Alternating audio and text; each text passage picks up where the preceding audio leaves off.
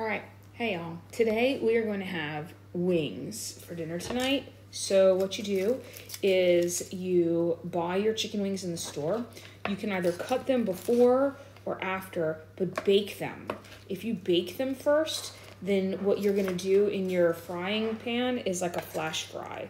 So that's what I did. I baked and then I'm cutting, and that's the first step to making really, really good fried chicken wings.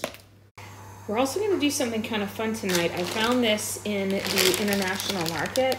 They're Far Far Crinkles. It's unfried potato snacks. Potato, flour, potato starch, and salt. There's no in instructions, so um, um, I'm heating up some oil. I'm to drop them in, see what happens. Okay, so let's see what happens. Get ready. Oh. Huh. Look at that. Would you look at that? They folded in and out. They folded in and out a little bit. Okay. And then, very carefully, and with a lot of carefulness, throw your wings up in there and let them get golden brown, and then pull them out and put them on a paper towel.